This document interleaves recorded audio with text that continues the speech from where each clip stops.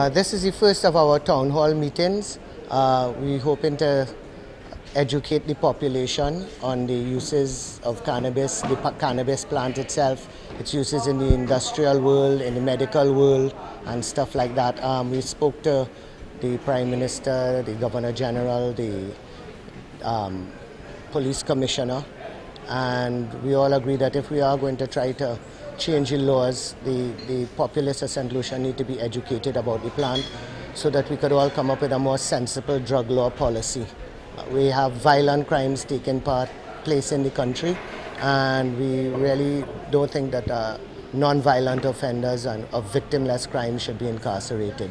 So step by step, we're going to try to uh, assist the, the police in their crime fighting with sometimes like changes in laws would help, and we hoping to change this law.